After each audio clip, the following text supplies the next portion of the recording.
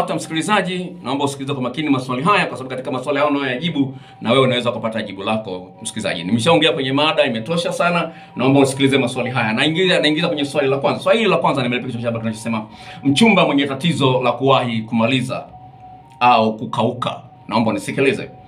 Dokta, mimi nina mchumba nampenda sana.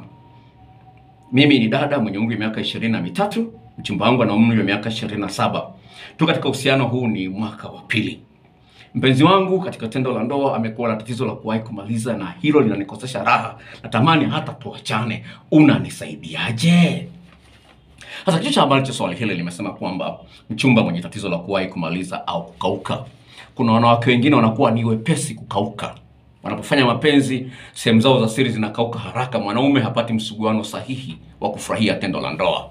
Kwa hiyo nimeweka pande zote mbili, maana nimetoa kichwa hicho cha habari. Nakumbuka uh, kaka moja alikuwa ni mhasibu miaka kama kumi iliyopita ya ofisi ya yangu, dada mzuri, mhasibu wa kampuni fulani, ameambiwa na mchumba wake kwamba bwana, usipoliondoa tatizo la kuwahi kumaliza, mimi nakuacha. Nakumbuka mchumba wake alikuwa ni Mchaga, sikumbuki kaka alikuwa ni, ni mtu ni mtu wa Bunda. So, na, sura historia naikumbuka ni mimi ni muda mrefu, lakini naikumbuka. Ametafuta, ametumia kila aina ya dawa huyu kaka hapa mjini, kakosa.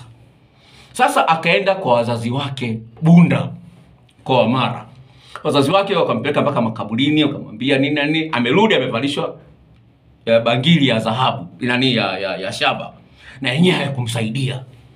Ndio akaambiwa bwana, kuna mtu anaitwa Dr. Nelson yuko pale Nyamagana. By then ofisi yangu ilikuwa ofisi uwanja wa Nyamagana, akaja nikamsaidia. Sawa, yule dada tukawa tukawa marafiki sana.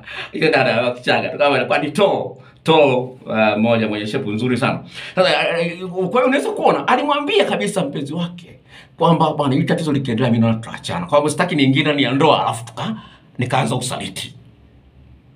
Sasa na na, na, na kwa nini kwa nini na, nini na- na- nazungumza hivi? Nazungumza hivi kwa sababu gani? Ili uweze kuelewa kwamba kama uko ndani ya ndoa una tatizo, usipolifanyia kazi, mwanamke atasaliti au ataanza jeuri au bishi usiokuwa na maana. Nazo shuhuda kama wiki mbili zilizopita nimepigiwa simu na mwanaume asema miaka huyu mwanaume ameachwa kwa tatizo la nguvu za kiume. Shida ni kwamba huyu mwanaume alianza kuota ndoto za kimajini, anaingiliwa kinyume na maumbile na, ma, na, ma, na majini.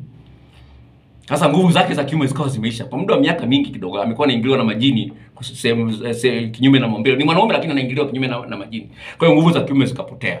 Mwanamke aliamua kumwacha. Sasa hali kama hiyo ipo na kuna wanawake ambao wanatembea na majini vile vile. Hizo stories zipo, ni za kweli. Kuna dada mmoja ambaye nimeongea naye, naye ana tatizo kama hilo hilo na ni mlokole. Sasa hili jambo lipo, lakini napenda kwambia hivi, tendo la ndoa lina nguvu sana kwenye ndoa. Uwe ni mwanaume au ni mwanamke, wewe mnyime tu mke wako nyumba, mnyime mume wako nyumba, tambua kwamba unajitengenezea majanga wewe mwenyewe. Hilo napenda kwamba kwa msingi. Sasa mwanamke anayekauka vile vile ana tatizo kama hilo hilo mwanaume anakuwa hapati adha ya kutosha, kama vile mwanaume anaye mwenye tatizo la kuwahi kumaliza anavyoshindwa kumpatia utamu wa kutosha mwanaume aliye mwanamke aliye naye. Dada mmoja akasema kwamba kaka mmoja akasema, dokta, nina tatizo la kuwahi kumaliza. Hasa hizo za ujanja ambao natumia ili nisichelewe kumaliza, huwa na nikiona kwamba imekaribia kumaliza nachomoa ili dudu litoke lipigwe na hewa kidogo, alafu niingie tena ili nisiwahi kumaliza.